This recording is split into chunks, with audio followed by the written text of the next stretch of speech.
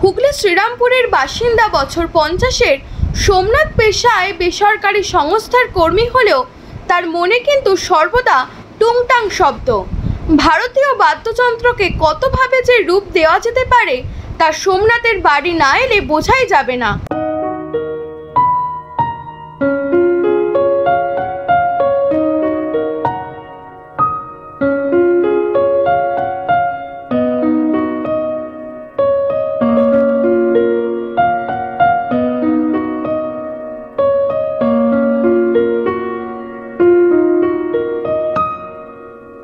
জল তরঙ্গকে কখনো ফেলে দেওয়া কাঁচ কখনো বা নারকেল মালায় আবার কখনো তাদের বাঁধনে ভেদে সৃষ্টি করেছে নতুন শব্দ তরঙ্গ। তো আমার আমার চিন্তা ভাবনা হচ্ছে যে যেগুলো আমরা ঘরে ব্যবহার করছি সেই ব্যবহারের জিনিস যেগুলো আমরা ফেলে দিচ্ছি সেই ফেলে দেওয়া জিনিস থেকে আমি একটার পর একটা ইনস্ট্রুমেন্ট আমি তৈরি করছি। এবং এর আগে তৈরি করেছি আমরা যে ঘরে আমরা সস খাই সসের বোতল সেই সসের বোতল দিয়ে বোতল তরঙ্গ তৈরি করেছি। আচ্ছা কোল্ড ড্রিঙ্কসের যে বোতলগুলো হয়, তো কোল্ড ড্রিঙ্কসটা খাওয়ার পরে আমরা কি করি? ফেলে দিই তো। হ্যাঁ একটা কিন্তু বলে রাখি, এগুলো সবই কিন্তু আমার ওই আস্তাপুর থেকে কুড়িয়ে নিয়ে আসা। কারণ আমি এত সসের বোতল পাবো না, এত আমি কোল্ড ড্রিঙ্কসের বোতলও পাবো না। ওই যারা, ওই পুরানি যারা আসে, তারা তো একটা জায়গায় গিয়ে স্টোর করে। সেখান থেকে ওই নোংরার মধ্যে বেছে বেছে বেছে বেছে কিন্তু আমি বোতলগুলো নিয়ে আসি। নিয়ে এসে তারপরে কিন্তু এগুলো আমি করি। যেরকম এই দুটো করেছি, তারপরে দরজা, জানলায় যে কাঁচ ব্যবহার হয়, সেই কাঁচের টুকরো ঘরে ছিল। আর কিছুটা আমি বাজার থেকে কিনে নিয়ে এসে সেই কাঁচ দিয়ে করেছি। এই ঘরের মেঝে যখন আমার সেরামিক টাইলস যখন পাতা হচ্ছিল, তো সেই অনেকগুলো ফালি আমার কাছে ছিল। সেইগুলো কেটে কেটে কেটে সেইগুলো দিয়ে করেছি। কারণ সেই টুকরোগুলো কিন্তু আর কাজে লাগবে না, সেগুলো ফেলে দিতে হবে আমাদের। সেইগুলো থেকে আমি আরেকটা ইনস্ট্রুমেন্ট তৈরি করলাম। যেরকম এইটা হচ্ছে, এখন হচ্ছে কেউ আর এই ধরনের টাইলস কিন্তু আর ব্যবহার করে না, ঘরের ছাদে। এখন সব আধুনিক জিনিস হয়ে গেছে, সবাই এখন কংক্রিটের দেওয়াল কংক্রিটের ছাদ সবই হচ্ছে। এগুলো কিন্তু রাস্তার ধারে পড়ে আবর্জনার মধ্যে পড়ে থাকে। তার মানে এটা সব মানুষ ব্যবহার করছে, ব্যবহার করার পর শেষ হয়ে যাওয়া এটাকে ফেলে দিচ্ছে। আমিও কিন্তু এই ফেলে দেওয়া জিনিস থেকেই আমি এই ইনস্ট্রুমেন্টটা তৈরি করলাম।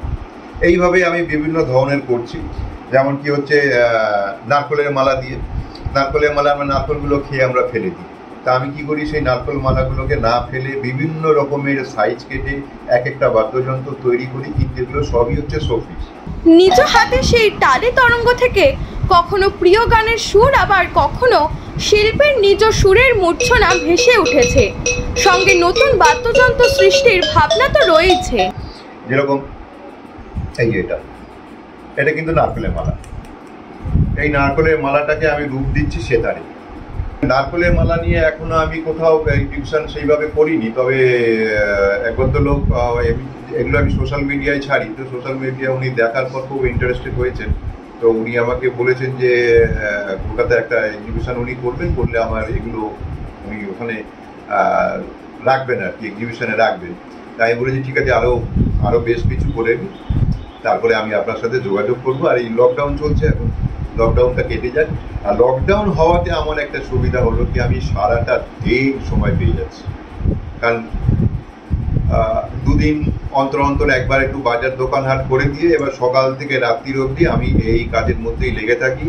তো লকডাউনে কি হলো, না হলো, কীভাবে দিনগুলো কেটে যাচ্ছে, এটা কিন্তু আমায়, আমি আর বুঝতেই পারছি না। এবং আমি যে সসের বোতলটার কথা বললাম এটা ফেসবুকে একজন দেখার পরে উনি কিন্তু আমার কাছে জানতে চেয়েছেন, কীভাবে এটা তৈরি করা হয়েছে। আমি কিন্তু ওনাকে ডিটেলে বলেছি। কারণ যেহেতু লকডাউন ছিল বলে আমি ওনার কাছে যেতে পারিনি, আমি বললাম, সেরকম যদি প্রয়োজন যদি হয় যে আমি আপনার বাড়িতে গিয়েও দেখিয়ে দিয়ে আসব, কীভাবে এই বোতলগুলো দিয়ে আমি একটা ইনস্ট্রুমেন্ট তৈরি করছি?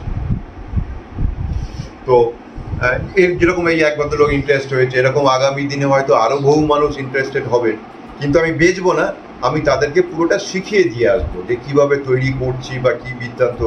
আমি পুরোটাই তাদেরকে শিখিয়ে দেবো যে কীভাবে তৈরি করা যায় একটা ফেলে দেওয়া জিনিস থেকে ইনস্ট্রুমেন্ট